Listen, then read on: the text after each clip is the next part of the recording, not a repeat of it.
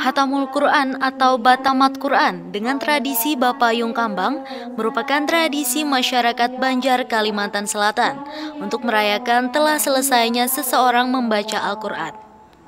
TK Al-Quran Al-Hakim pun turut mengenalkan tradisi Batamat Quran Bapayung Kambang kepada santrinya yang telah menghatamkan Quran.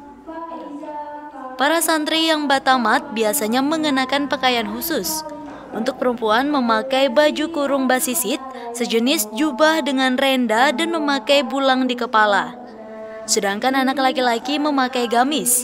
Dan yang utama adalah bapayung kambang bertingkat yang terdiri dari rangkaian bunga mawar, kenanga, bunga kertas, dan lain-lain.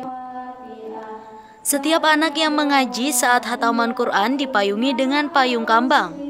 Maknanya, anak-anak yang telah menghatamkan Qurannya dapat terjaga keimanannya dan terjaga harum namanya hingga ke surga.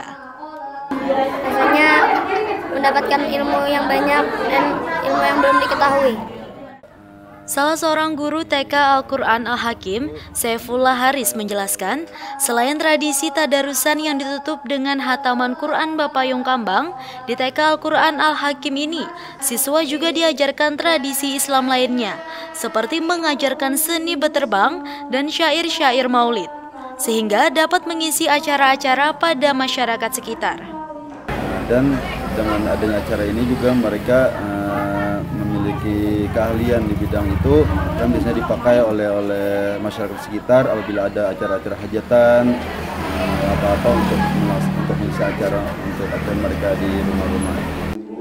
Ketua Badan Pengelola TK Al-Quran Al-Hakim Marzuki Hakim menambahkan, Tadarus Al-Quran dan Hataman ini menjadi agenda tahunan yang mana Hataman ditargetkan dilaksanakan berbarengan dengan Nuzulul Quran yang jatuh setiap 17 Ramadan. Nah kegiatan ini dimulai dari awal Ramadan mereka melaksanakan tadarus Al-Quran setiap hari.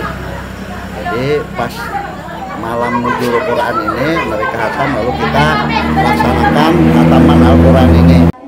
Hataman Quran ini sendiri diikuti antusias oleh 18 orang santri TK Al-Quran Al-Hakim. Haris Muhazir, TV Tabalong melaporkan.